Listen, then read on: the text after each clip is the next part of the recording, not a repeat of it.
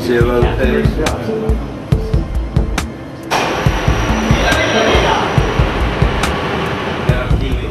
Aft bridge.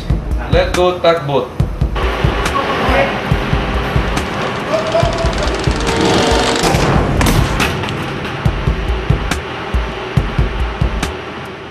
These accidents involved seamen who had moored many times before. So why did they happen?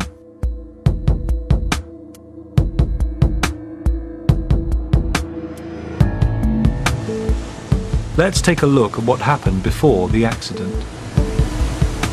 The officer in charge's job is to watch, anticipate problems, make sure everyone is standing in the right place.